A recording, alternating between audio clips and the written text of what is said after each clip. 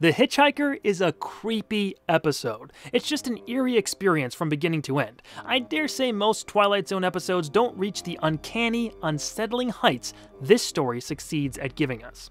It's adapted from Lucille Fletcher's radio play, which first premiered in 1941 and featured the voice of Orson Welles in the lead role. Fletcher's first husband was actually Bernard Herrmann, the composer of the first Twilight Zone theme and many of its episodes. He scored the original radio play, and some of that music was used here in the TV version. Serling heard the radio play when he was a teenager and never forgot it. In his adaptation, he changed the main character to a woman named Nan, which was the nickname of one of his daughters. Fletcher wasn't thrilled about the gender swap, but most of the main plot points were kept intact. Nan Adams is a 27 year old woman on a road trip from New York to California. After a tire blowout in Pennsylvania, she gets her car repaired and starts seeing a mysterious hitchhiker appear over and over. No matter how fast she drives, no matter where she goes, he pops up from time to time with the same blank expression and thumb outstretched in the air. Desperate to find a way to lose him, she takes the back roads off the beaten path, but eventually runs out of gas. After being refused fuel late at night, a sailor helps her along.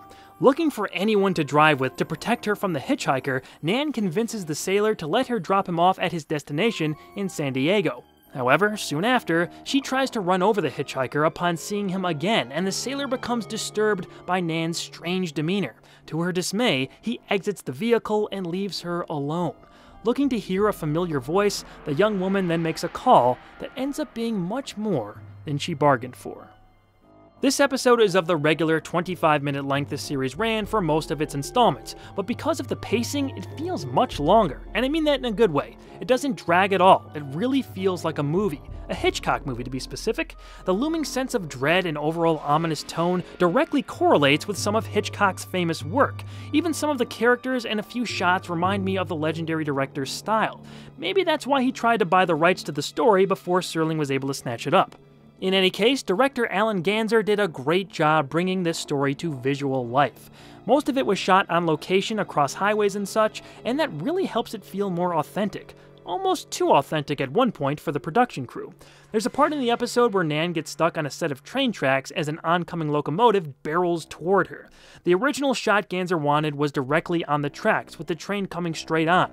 But when another train passed by the production crew heading the other direction, they realized that probably wasn't the safest idea and stepped off to the side of the tracks to get the shot. The hitchhiker himself and how they shoot him is chilling. He barely does anything, and that's what makes him so creepy. It's just this weird, relentless stare. Sometimes he kind of smiles and he does have a few lines, but Leonard Strong as this character effectively gave me the heebie jeebies.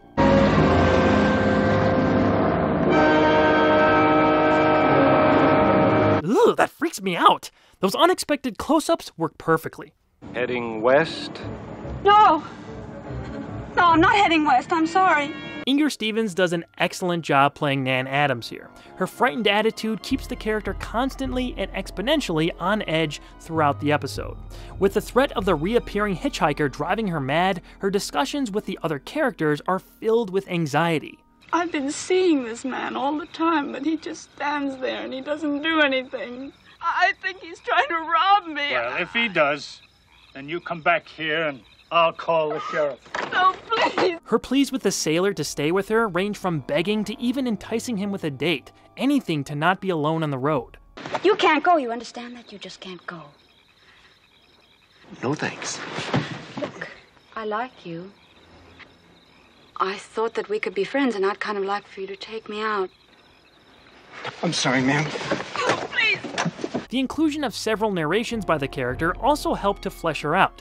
Additionally, this was a way to keep a lot of the radio play's original dialogue in the story. The terror isn't formless, it has a form. He was beckoning me. It helps to hear these words as thoughts, since saying all this out loud wouldn't do the character any favors, as evidenced in a story like Where Is Everybody, where that character doesn't have much motivation to speak, but does so anyway. Stevens' nonverbal acting is also top notch. It's underplayed at times, then bursts out in these horrified expressions. Her sometimes dull demeanor seems like a conscious choice on the part of the director and actor, and it all makes sense in the twist. After the sailor leaves her to fend for herself, Nan makes a call to her mother so she can calm down, but she's apparently not home because of a nervous breakdown. What do you mean a nervous breakdown? Well, it's all taken place since the death of her daughter. Nan was killed just six days ago in an automobile accident in Pennsylvania. Her remaining emotion drains from her body as Nan vacantly returns to her car. I believe you're going my way. The Hitchhiker is meant to be a form of death or the Grim Reaper, and it's one of the better twists in the first season.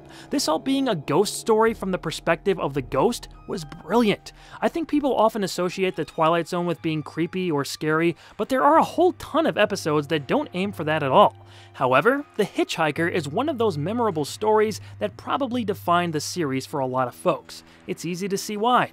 This is one to go out of your way to see but it's just one stop on the winding road that is the Twilight Zone.